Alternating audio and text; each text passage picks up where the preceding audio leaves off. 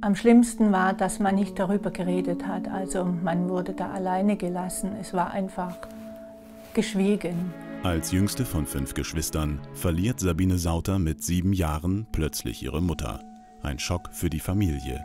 Von da an ist nichts mehr, wie es einmal war. Chaos. Also Chaos, weil ja einfach die Seele vom Haus war einfach nicht da, wo eigentlich alles gemanagt hat, wo eigentlich auch den Frieden ins Haus gebracht hat. Aber ähm, ja, die, das Einfachste war einfach nicht mehr möglich. Sabine und ihr Bruder werden bei einer Tante in der Stadt untergebracht. Das kleine Mädchen leidet unter der Trennung von Vater und Geschwistern. Wir sind abgeschoben worden, so habe ich mich gefühlt, ja. Es war ähm, schlimm, ja. Sabine fühlt sich ungeborgen. Sie grübelt und versucht zu verstehen, was in ihrem Leben geschehen ist. Wo ist eigentlich Gott? Ist er überhaupt da für mich? Und ich habe diese Suche gehabt im Herzen. Ich suchte schon auch extrem schon Zuneigung, Respekt, anerkannt zu werden. Und je mehr ich gesucht habe, desto weniger wurde es. Je mehr ich mich angestrengt habe, war das nicht so. Also es war dann schon, ich musste mich immer dermaßen anstrengen, überhaupt anerkannt zu werden. Und ich fragte mich dann oft, warum das so war. Sabine fühlt sich vom Leben überfordert. Ihr fehlt die Orientierung. Und das macht sich bemerkbar. Ich bin von einem Katastrophe, also eine Fehlentscheidung eigentlich in die andere reingestolpert. Und das, das macht einen dann lähmend. Und äh, ja, und dann hat man immer nur Arbeit, sich irgendwie zu wehren oder irgendetwas zu sein, zu wollen, was man eigentlich gar nicht ist. Man ist nicht wirklich, man hat eine Maske auf und man lächelt, wer einem nicht zum Lächeln ist. Ja. Und dann habe ich eigentlich dann nachher dann immer, meine Tränen habe ich immer im Nachhinein dann laufen lassen, ja. Anfang 20 heiratet Sabine. Sie hofft, dass das Leben leichter ist, wenn man es zu zweit bewältigt. Doch schon auf der Hochzeitsreise bemerkt sie, dass ihr Mann gerne und viel trinkt. Und da sagte ich und fragte ich mich auch, ja, was soll das eigentlich? Was habe ich da getan? Sabine ist sich sicher, mit der Heirat den nächsten großen Fehler gemacht zu haben. Und da habe ich empfunden, für mein Leben lang ge also gefangen zu sein in einer Ehe, wo nicht ähm, gut ist. Trotzdem bleibt Sabine.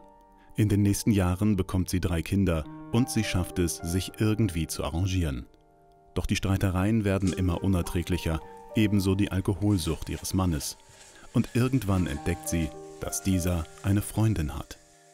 Ähm, da geht es zu weit. Das ist einfach die Grenze nochmals überschritten. Zu dem Alkohol konnte ich noch irgendwie umgehen, aber das war dann zu viel. Und ich fragte mich dann tatsächlich, wo bin ich eigentlich? Warum tut man mir alles an? Und da sind die Depressionen richtig stark geworden. Zu diesem Zeitpunkt glaubt Sabine nicht mehr, dass sie ihr Leben jemals in den Griff bekommen wird. Dann, als sie wegen eines kleinen Eingriffs im Krankenhaus ist, hat Sabine ein Schlüsselerlebnis. Alles beginnt mit ihrer Zimmergenossin. Wir mochten uns gar nicht. Sie war ein bisschen, ja, ist egal wie. Auf jeden Fall war, wir mochten uns nicht. Und sie, aber sie erzählte von Jesus und von der Entscheidung, wo man machen sollte. Und ich wollte einfach reden irgendwie. Ich wusste nichts mit mir anfangen und ich wollte irgendwie den Zugang zu ihr doch finden. Die beiden Frauen kommen ins Gespräch. Und da habe ich mir das angehört und drüber nachgedacht und dann in der Nacht habe ich diese Entscheidung für mich dann gemacht. Habe ich gesagt, Herr, hier bin ich. Wenn es dich wirklich gibt, dann komme in mein Leben, räum mein Leben auf. Ich kenne mich nicht mehr auf, ich habe alles an die Wand gefahren, hilf mir. Ich möchte dich kennenlernen. Und es scheint zu funktionieren. Sabine ist einige Tage in Hochstimmung. Doch dann holt der Alltag sie ein und sie fühlt sich erneut ungeborgen und ohne Orientierung. Und dann habe ich irgendwann mal gesagt, das kann es dann auch nicht sein. Wo bist du, Gott? Und ich habe es nicht verstanden. Ich habe es einfach nicht verstanden. Ich habe ja auch keine Gemeinschaft gehabt. Vom Glauben enttäuscht steht sie vor einem Zusammenbruch. Und mir ist auch nichts mehr gelungen. Also ich habe dann wirklich, es ging nur noch bergab. Keine Arbeit und nichts. Also und auch zu Hause verschärfte sich. Es war dann nur noch ein Bergab. bis ich dann wirklich dann gemerkt habe, also jetzt kann ich nicht mehr. Ich habe mir eine Flasche Wein genommen und alle Tabletten, wo ich zu Hause fand, habe ich geschluckt. Habe alles vorher aufgeräumt und habe dann diesen Schritt gemacht. Und habe aber noch gebetet und gesagt, Herr, es tut mir leid, ich halte es nicht mehr aus, ich kann das nicht und ich, ich habe es nicht hingekriegt und die, die sind besser dran ohne mich. Der Alkohol und die Tabletten beginnen zu wirken. Sabine schläft ein. Und dann am nächsten Tag bin ich aufgewacht, wie wenn nichts gewesen ist.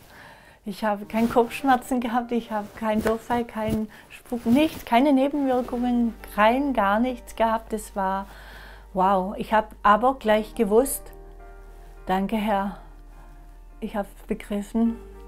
Sabine entscheidet sich für das Leben und ist bereit, sich erneut ihren Problemen zu stellen. Ich bin gestärkt worden durch das Wort. Also man täglich mein Wort, das Wort Gottes ist für mich ein tägliches Brot. Also das darf nicht ohne sein.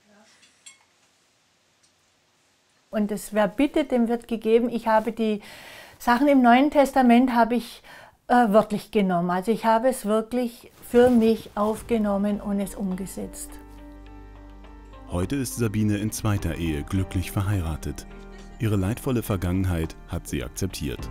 Die Reue, die tut weh, aber es, man wird immer belohnt von Gott auch diese Reue, wenn dann der Schmerz rauskommt, dann kommt auch der Schmerz, die Tränen kommen raus, aber dann ist es bei Gott und nicht mehr irgendwo, dass man äh, bei einer Freundin oder so sich ausheult, sondern einfach, dann ist es bei Gott und Gott hat einfach die Zügel in der Hand. Und das ist eigentlich schön und herrlich zu sehen, dass Gott da ist.